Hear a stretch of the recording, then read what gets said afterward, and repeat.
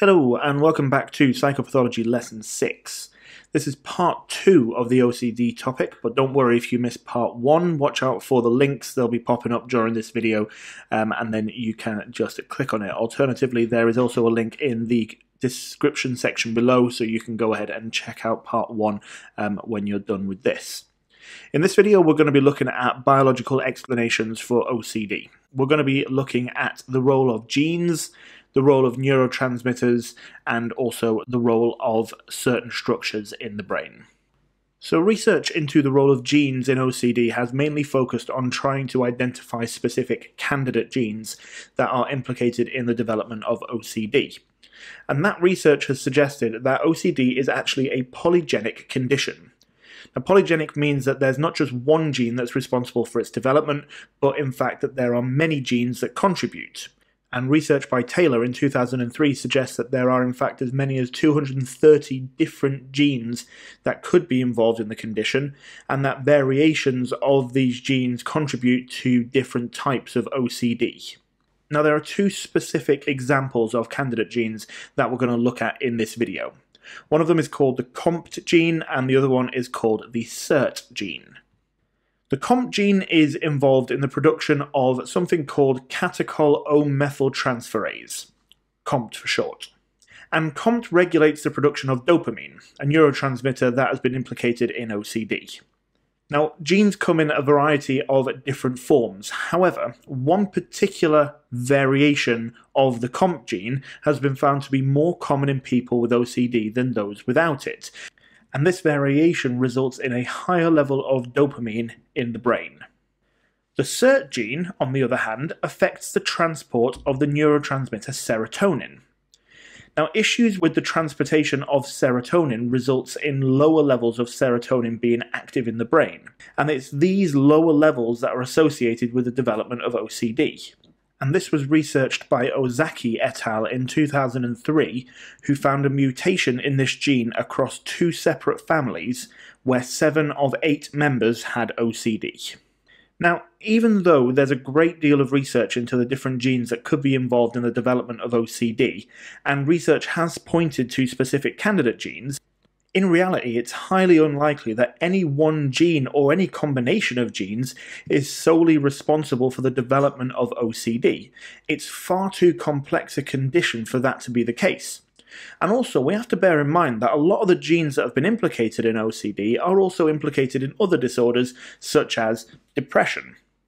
So, that being the case, it's far more likely that these genes actually produce a vulnerability to certain disorders rather than producing the disorder itself, and that certain environmental stresses, such as divorce, death of a loved one, stress at work, or any other form of psychological trauma, would then trigger the condition in those people that have the vulnerability and this is known as the diathesis stress model. The diathesis is the genetic vulnerability, and the stress is the trauma that would act as a trigger. If you have the genetic vulnerability, but you never experience the stressor, you won't develop the condition. If you experience the stressor, but you don't have the genes, you'll also never develop the condition. And if you have the genes and experience a stressor, then you could develop the condition.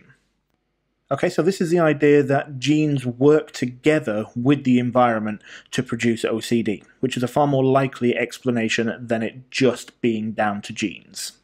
Okay, moving on, we have the role of neurotransmitters, and both the neurotransmitters serotonin and dopamine are believed to play a role in OCD, like we already kind of touched on when we were looking at the COMT and the SERT gene.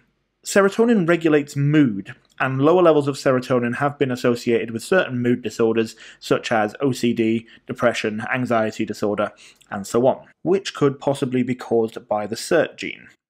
Now, research into this was conducted by Pigott et al. in 1990 and Yenneker et al. in 1992.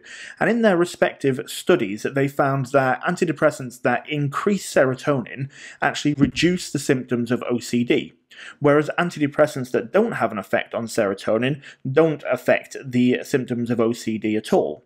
the fact that we can increase levels of serotonin in the brain, which then decreases symptoms of OCD, suggests that actually low levels of serotonin are a cause or are at least implicated in the development of OCD as a condition.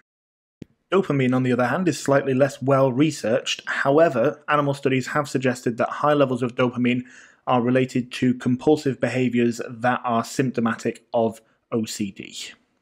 Okay, and then finally, we have the role of certain structures in the brain. This also comes under neural explanations, just so that you know for exam questions. So, this explanation looks at the idea that specific regions of the brain seem to be involved in OCD. And one of these regions is located in the frontal lobe and is called the orbitofrontal cortex. Now, the orbitofrontal cortex is involved in loads of different stuff, but one of the things that it does is relay information about things that are potentially worrying or risky to other areas of the brain, and then converts that information into actions. So if you're thinking about the characteristics of OCD, you've got worrying information could link to anxiety, and actions could lead to compulsions. Okay, so just linking the two lessons together there. Um, and research into this has actually found through PET scans that there's higher activity in the orbital frontal cortex of patients with OCD particularly when their symptoms are active.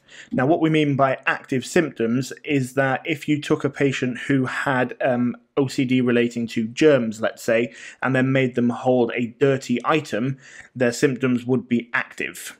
And in a case like this, the overactive orbital frontal cortex would be sending you loads of information about how worrying this particular situation is, and then it would be converting that worrying information, or it would be converting that information into behaviors such as wash your hands over and over and over again, which would then potentially link to compulsions.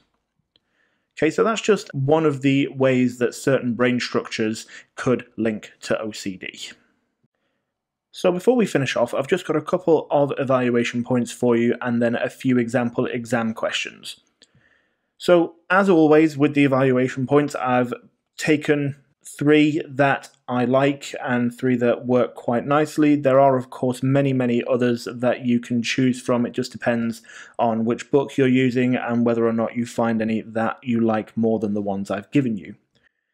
So, first off, some supporting evidence for the role of genes in OCD. It's very simple, it's nice, it's got a study in it, which is always a good thing for an evaluation point, and it is essentially the fact that Research reviewed previous twin studies and found that 68% of identical twins shared OCD as opposed to 31% of non identical twins. Okay, so it isn't a massively complicated evaluation point, it's also not a massively complicated study. However, the fact that it is a study and the fact that it is research makes it very, very nice to use in an essay.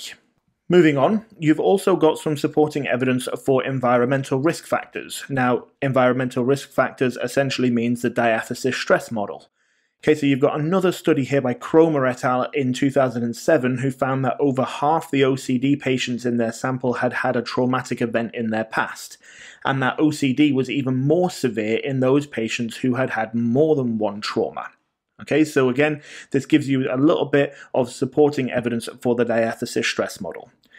Equally, you can of course flip this evaluation point on its head because if you didn't talk about the diathesis stress model in your outline, then you could always use this as a limitation of genetic explanations, because then you can say that research has shown that environmental risk factors also exist and therefore it can't just be entirely genetic in origin. Okay, so you can use this evaluation point as a little bit of both. It could be a strength, it could be a limitation, it just depends on what it is that you're using it for. It's a strength of the diathesis stress model, it is a limitation of genes being the sole cause of OCD. And then finally, we have a limitation for neural explanations for OCD, and this is a limitation all around causation. So essentially, what it's saying is that even though there is a lot of evidence that suggests that neural systems are somewhat abnormal in people with OCD, whether that's something like your orbital frontal cortex or whether it's something about your levels of serotonin, one way or the other, research has implicated these.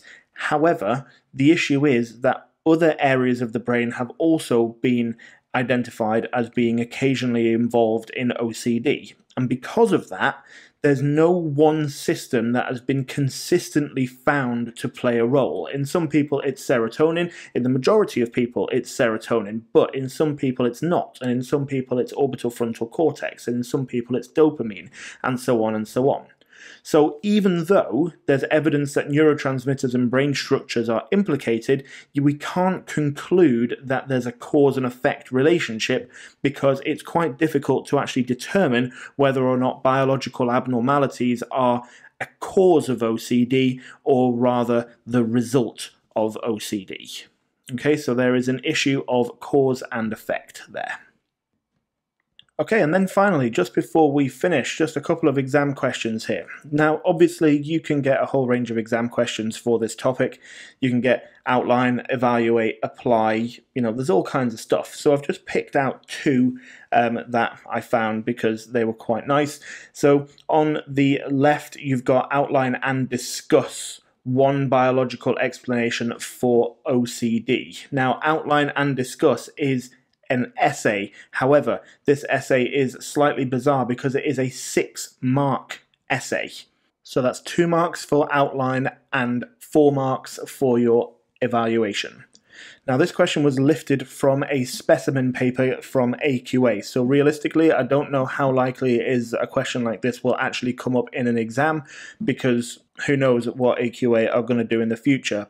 Nevertheless, it's probably not a bad idea to actually try and answer this question for six marks because outlining something for two marks is very, very tricky and it requires you to condense and it requires you to choose what you want to talk about very carefully.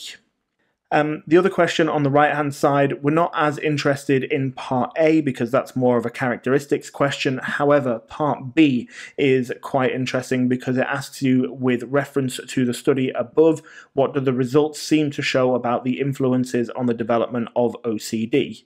And because the research found that the degree of inheritance is between 45 and 65 percent, what it's actually getting at is this idea that OCD can't be completely genetic, because if it was completely genetic, then the degree of inheritance would be more like 100%. Okay, so that particular question is actually getting at um, more of a diathesis stress model explanation rather than a genetic explanation. Okay, so it's just one to be aware of. It's quite a nice question. Something like that comes up quite a lot, so just don't be thrown off if you do get one in one of your exams. So that is the end of the video. As always, if you have any questions, please feel free to put them in the comment section below and I will get back to you ASAP. I hope it's made sense, I hope it's been useful, and look out for the next OCD video in the sequence, which will be on biological treatments. Thank you very much for listening.